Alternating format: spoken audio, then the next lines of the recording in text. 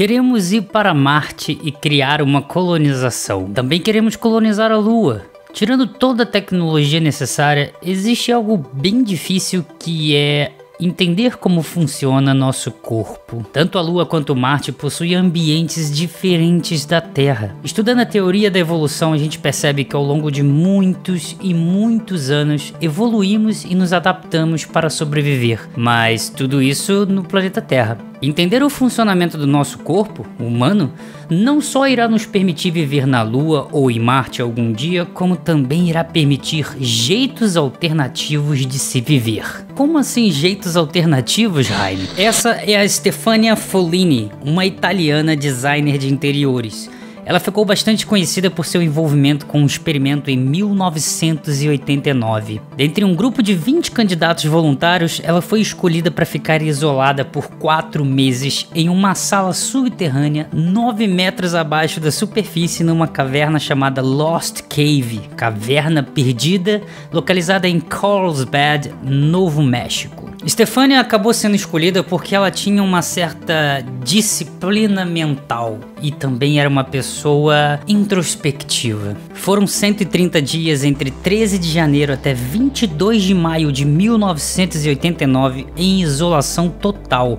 Ela tinha dois ratinhos de estimação, um violão e um computador em que ela conversava com os cientistas.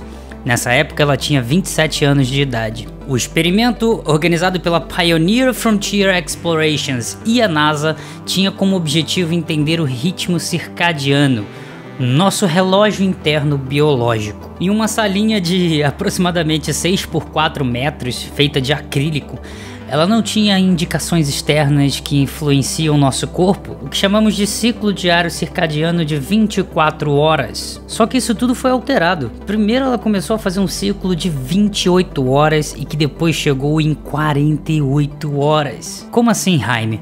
Simples, o corpo dela entendia que 48 horas era um dia. Ela começou a ficar acordada por mais de 20 horas e então dormia por 10 horas. Depois ela dormia cerca de 22, 24 horas e então ficava acordada por 30 horas. Os cientistas monitoravam ela por câmeras, microfones, checando batimento cardíaco, pressão sanguínea, temperatura e até mesmo o padrão de ondas cerebrais. Ela ficava enviando amostras de sangue e urina que eram puxados por uma corda da caverna e daí os cientistas também estudavam possíveis variações hormonais. Obviamente ela começou, na verdade ela até relatou isso, que se sentiu um pouco depressiva, até porque a única forma de comunicação que ela tinha era através do computador com os cientistas. Ela chegou a dizer que em momentos sombrios e depressivos, para ajudar ela, ficava repetindo para si mesma a frase: Nada vive para sempre, apenas as montanhas e a terra. Para passar o tempo, ela tocava violão, lia livros, construía coisas feitas de papel. Ela chegou a fazer uma janela com cortinas de renda,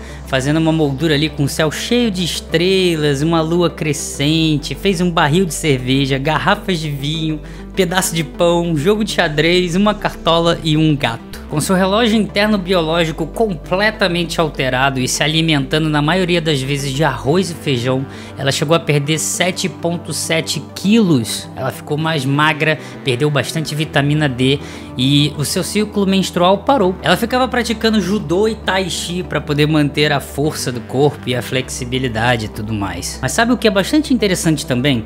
É que quando ela saiu da caverna, quando o experimento acabou, perguntaram para ela qual era a data. O experimento acabou no dia 22 de maio e ela estimava, ela chutou que era 14 15 de março. O experimento durou 4 meses e ela achou que tinha se passado dois meses. Os estudos com a Stefania e também com muitos outros servem para a gente entender como o nosso corpo funciona. Estamos acostumados com o nosso ciclo diário de 24 horas, o dia para trabalhar e a noite para descansar. Qualquer alteração drástica neste ciclo pode acarretar uma série de problemas e doenças. Entender tudo é o primeiro passo, porque a partir do conhecimento podemos explorar maneiras de redefinir o nosso relógio biológico com tecnologias. Não se trata apenas de colonizar Marte ou a Lua em algum dia no futuro.